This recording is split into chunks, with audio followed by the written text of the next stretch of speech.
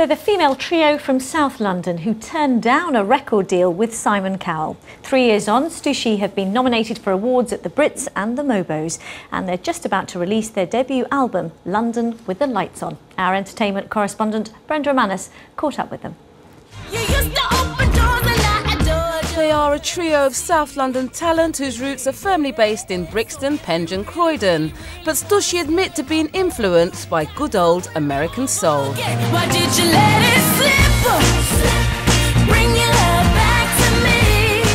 We've all grown up listening to Motown, different artists from Diana Ross and the Supremes, The Temptations, Martha Reeves, and that just kind of that comes out in, in well in our songs.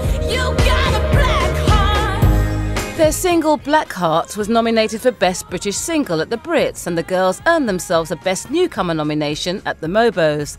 Their ever increasing popularity has also seen them support the likes of rap star Nicki Minaj and Jennifer Lopez. Despite such success, the group are determined to remain grounded. Stooshe is really light-hearted and we've always wanted it to be about that and just having fun. We're best friends, just having fun with each other. Meeting fans, or their squad as they're known, is a serious commitment. The Good Old London bus to promote their album London with the Lights On made perfect sense.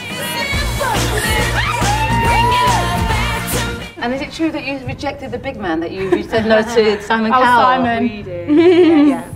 He offered us a deal on the spot, but we decided it was it was all good. Everything's good. I think everyone gets the wrong impression and thinks that we don't talk to Simon anymore, and it's all really negative. But it's actually really cool. We saw him the other day, and we yeah we just ended up not coming to an agreement on the creative control and that.